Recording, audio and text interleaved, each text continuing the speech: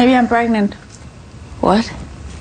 I'm hungry all day today. I can't stop eating. I think it's a good sign. Yeah. Yeah, it's good. That's good. Are you okay? Yeah. Mm-hmm. I'm just tired, thirsty, and I'm gonna go shower. And then uh, I'm gonna I'm gonna come home. You-. I shouldn't I shouldn't work uh, like this, this, and it's not safe for the others. So. Yes, Pomina, you should sleep in bed at home with me. Yeah, yeah, yeah. yeah that is exactly what I need.